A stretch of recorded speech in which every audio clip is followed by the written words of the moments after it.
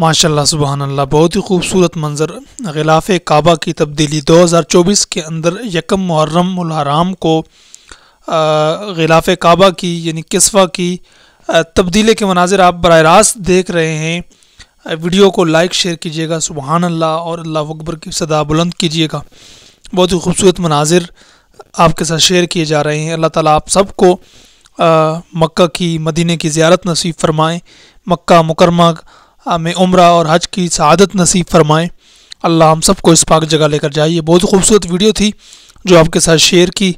आ, पहले जो है ना वो अरफा वाले दिन जो है गिलाफ़ काबा की तब्दीली होती थी लेकिन अब ये शेड्यूल जो है 2022 से चेंज कर दिया गया है। यकम मुहर्रम हराम को यानी उससे पहले जो रात होती है, उसमें इसकी तब्दीली की जाती है।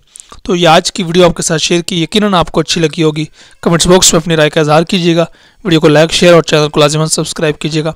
अपना ख्याल रखिएगा। इजाज़त दीजिए। अल्लाह हाफिज़।